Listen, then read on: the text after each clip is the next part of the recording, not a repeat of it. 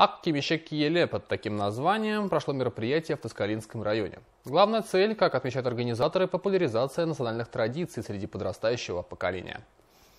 Обычаи и традиции – одна из главных культурных ценностей казахского народа. Сохранить, приумножить и передать их подрастающему поколению. Такова главная цель мероприятия. Для этого участницы облачились в белые и провели конкурс мастеров, чтобы привлечь внимание молодежи. Далее в местном доме культуры прошел конкурс невесток. Выступление участниц оценивало жюри, а по итогам наградила лучших в различных номинациях.